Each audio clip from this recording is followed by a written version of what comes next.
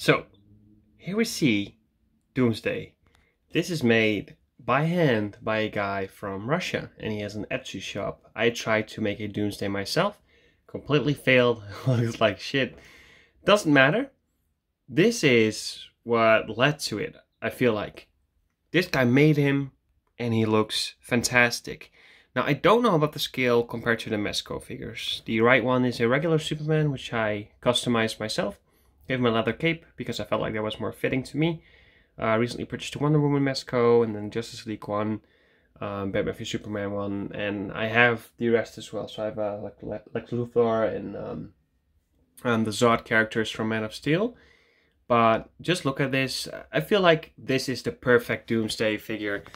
Uh, it's really really sick. This guy has made this entire face by hand and there's like nothing. It's just uh, when you get it, it's like a gray resin paint color, and I did everything: the uh, wash, the new gray coat, basically, and then I did a uh, green and brown. As you can see, it's a little bit more dirty at some uh, at some parts.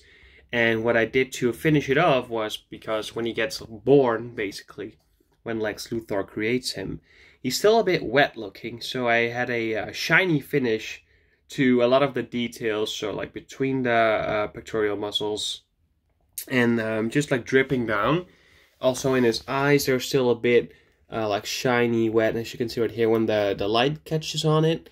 It just looks really good, realistic. This is a fantastic thing. It's even though it's a statue basically, it's so well fitting in, and I think I I can honestly say that I feel like it will be 0% chance anyone, anyone is going to release a Doomsday figure that's this accurate. So if you want a Doomsday figure, don't watch my previous video about the Doomsday custom I did, but have a look at this guy's Etsy page because what a freaking beast. This is really sick. Compares really well to the Mezco figures, as I said. Um, maybe it's a little bit more important to see what it would look like, like next to Batman it's still intimidating. I feel like if you would see this scale in real life, so uh, let's say I would be this and there would be a guy that looked like this, I would still be terrified. Um, in my honest opinion, I feel like he could have been a little bit bigger um, to be better in scale with the Mezco ones. But in the movie, it's really difficult to pick up what scale he actually is. Um, you see Superman looking up a few times and like Doomsday looking down, but I'm really happy with this. Um, I don't want to complain about it either way. So really fantastic Doomsday figure, and he did a limited run of it basically. So you should be fast if you want to get this, and uh, you should keep in touch with the with the guy.